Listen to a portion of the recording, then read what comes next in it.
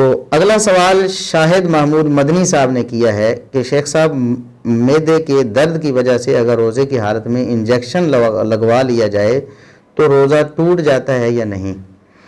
देखिए, शरीयत ने जो रोज़े के टूटने के इसबाब बताए, ज़ाहिर शरीयत ही तय करती है कि कौन से इसबाब से रोज़ा टूट जाता है। खाना पीना है और शहवत पूरी करना। ये तीन चीज़ें शरीयत ने बताई हैं कि इनसे रोज़ा टूट जाता है। तो जो चीज़ें खाने पीने के कायम मकाम हैं उनसे भी रोज़ा टूट जाएगा। अगरचे वो खाना पीना नॉर्मल हालात में उसको खाना पीना नहीं कहते। लेकिन अगर जिस तरह किसी मरीज़ को आ, कोई ड्रिप वगैरह लगा दी जाती है या उसको खाने की नाली लगा दी जाती तो वो भी खाना पीना ही है। और वो खाने पीने के हुक्म में दाखिल है लिहाजा उसका रोज़ा टूट जाएगा। ज़ाहिर है मरीज़ है उसको वैसे भी इजाज़त है। अगर उसने नहीं तोड़ा तब भी ऐसे रोज़ा टूट जाएगा। लेकिन वो चीज़ें जिनसे बरह रास्त कोई ऐसा सिलसिला गज़ा वगैरह का या ताकत वगैरह का नहीं बनता, उनसे राज कौल के मुताबिक रोज़ा नहीं टूटता। जैसा कि बाज़ इंजेक्शन वो गोश्त में लगाए जाते हैं और मसल्स में लगाए जाते हैं दर्द वगैरह से बचाने के लिए तो ऐसे जो इंजेक्शन्स हैं वो गज़ाई नहीं होते, उनसे गज़ाइयत हासिल नहीं होती और उनके लगाने से रोज़ा नहीं टूटता। और यही हुक्म है इंसुलिन का।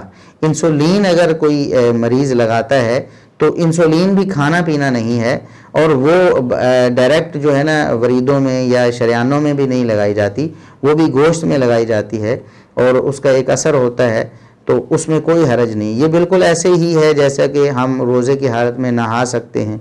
जब नहाते हैं तो पानी हमारे मसामों के ज़रिए हमारे गोश्त में, जिसम में दाखिल होता है। लेकिन वो चूँकि खाना पीना नहीं है, लिहाजा वो पानी दाखिल हुआ भी है तो उसे रोज़ा नहीं टूटता। हालाँकि बहुत फ़र्क पड़ जाता है। एक शख्स नहाया नहीं है, सख्त गर्मी जब लू चल रही हो तो उसका रोज़ा और दूसरा शख्स जो ठंडे पानी से नहा रहा हो, किसी ट्यूबवेल वगैरह पे या नहर में नहा रहा हो तो आप उसमें और दूसरे शख्स में जो नहीं नहा पा रहा या जिसके पास सहूलत नहीं है वो उसमें ज़मीन व आसमान का फ़र्क नज़र आएगा। लेकिन चूँकि ये खाना पीना नहीं है तो लिहाजा जायज़ है। इसी तरह कोई दर्द वगैरह हुई तो आप जिसम पर कोई मॉलिश वगैरह कर सकते हैं। कोई चीज़ इस तरह की लुब्रिकेंट्स वगैरह आप वो इस्तेमाल कर सकते कोई क्रीम वगैरह लगा, कोई बाम वगैरह आप सर दर्द की सूरत में लगा सकते हैं। अगरचे उसका भी असर एक महसूस होता है जिसम में ठंडक वगैरह और वो जिसम में सरायत भी करता है। लेकिन वो खाना पीना नहीं, लिहाजा रोज़ा नहीं टूटेगा। तो इस हवाले से आप ये कायदा कानून जहन में रख लें कि ऐसी चीज़ें जो खाने पीने के हुक्म में दाखिल हैं, जैसा कि खून लगाना, खून डायरेक्ट शरियानों में लगाया जाता है और वो डायरेक्ट हमारे निज़ाम में दाखिल होता है, खून बढ़ जाता है और ये गजाइत के हुक्म में है। इसी तरह कोई इंजेक्शन ऐसे हों जो ताकत वाले हों, जो डायरेक्ट शरियानों में लगाए जाते हैं और खून में शामिल होकर ताकत का सबब बनते हैं, ये भी खाने पीने के हुक्म में है।